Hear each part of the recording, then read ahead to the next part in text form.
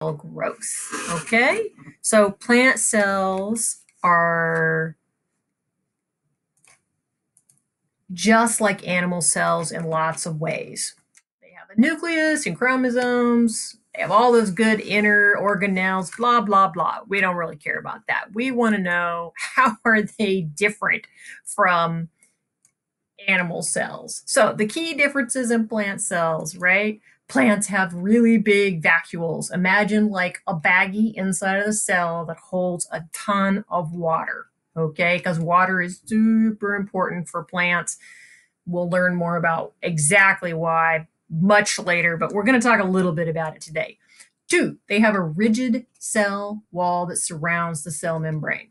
Okay, and this makes plant cells stack up like little blocks.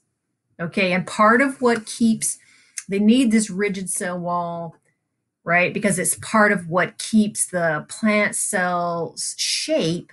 And then the water in the vacuoles is part of what like maintains the pressure inside the cell that keeps that shape. So those two these two things are working together. And then finally plant cells have plastids, all right? And I'm going to talk a little bit more about plastids. So plastids plants have all different kinds of plastids, but the one that you probably know the most of is the chloroplast, right? The chloroplast is where photosynthesis is happening. It's got chlorophyll in it, yada yada yada. But the thing of it is, plants can make a make a, a, a chloroplast, and then it can turn the chloroplast into an amyloplast, which is a plastid that doesn't have any pigment in it, and it's just carrying little grains of starch, right? And it can also take a chloroplast and turn it into a chromoplast, right? Which is a type of um, plastid that has uh, fats and lipids in it, and um, it's got it doesn't. It's also not green. And what's super trippy is plants can like swap back and forth. If you've ever had a potato that got too much light on it, it starts to turn green on the skin, and that's because potatoes are full of amyloplasts, right? And they the, once they get exposed to light, the amyloplasts will be like, whoa, hey, I can photosynthesize. I'm going to turn into a chloroplast. And so they'll actually shift and they'll start to become a chloroplast and they'll have chlorophyll in them. Um, also, they make some other things that are not great for you if you do that. So don't eat green potatoes, not good for you. And then chromoplasts, right, are in flowers and fruits and they signal, right, that they're going to the plant is is getting ripe if it's a fruit, right? Um, and it's ready for something to come and eat it and it spread its seeds. Plant cells also have something crazy called the plasmodesmata.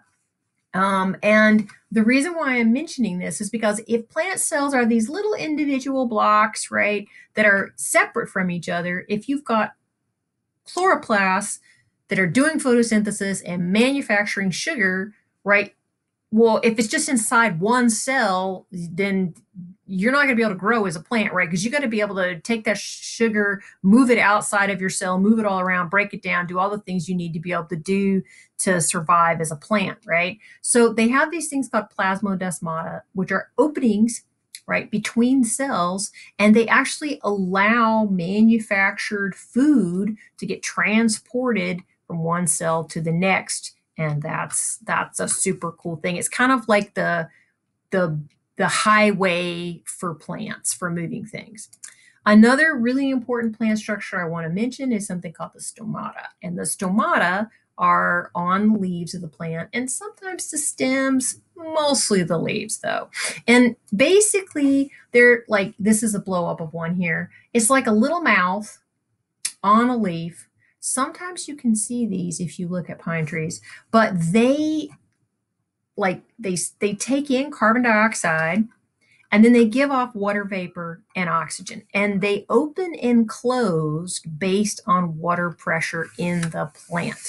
And as you're going to see water is really really important um, in all of this because if you don't have enough water pressure, then your stomata are going to be closed, which then means you can't take in carbon dioxide, which then means you can't do photosynthesis. So all of this is pretty crucial.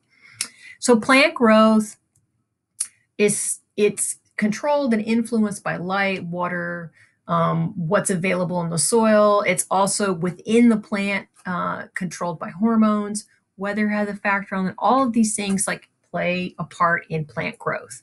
So plants are annuals, which means that they sprout, grow, reproduce, and die in one year. You got to get your plant game on and be done.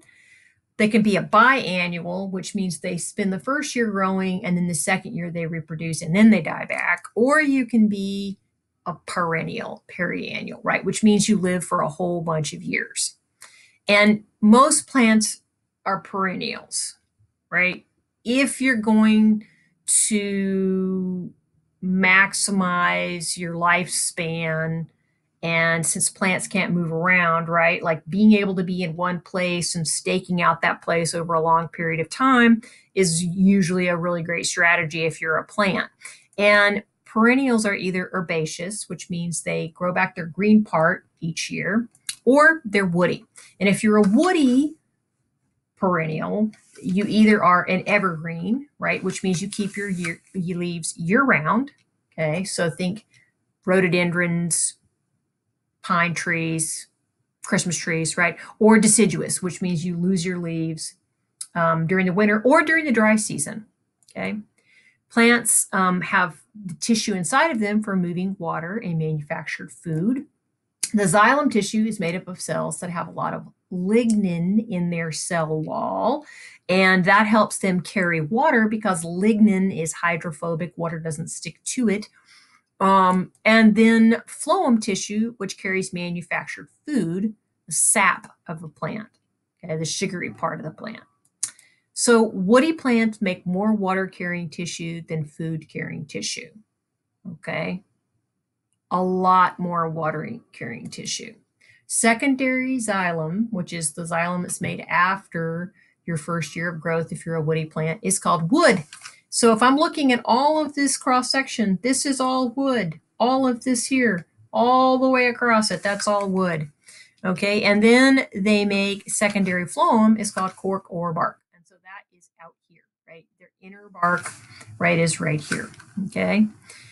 So over time, that inner xylem tissue, it, it's no longer actively transporting water and it dies and it's called then heartwood. And in a lot of plants it's actually a different color. And then the outer xylem is current xylem is called sapwood. Now this is super confusing and i'm sorry i wish it wasn't like this but this is all xylem tissue okay? The part of this that is actually carrying phloem is way the heck out here right out at the edge okay? So that's yeah, I wish it wasn't like that, but it is. So heartwood contains resins, phenols, terpenes, and from the plant's point of view, those are those are manufactured to repel insects so that it doesn't eat the plant from the inside out. But if you remember our Shinrin Yoku reading, right, they specifically mention phenols and terpenes as being one of the things that have an impact, a positive impact on human health, right? Um, they've been used in medicine. It's important in construction because um, some woods right are better for building you know closets with that are going to repel insects and other woods. They're also of course used in um, wine and alcohol manufacturing. I mean that's how wines get their flavors just from the phenols and the resins and the terpenes that are in the barrels that it's uh, that it's manufactured in. And so they're important i mentioned this because they're important for humans so let's put this all together, right? Here's a cross section of wood, and um, there is not actively growing xylem, which is the heartwood.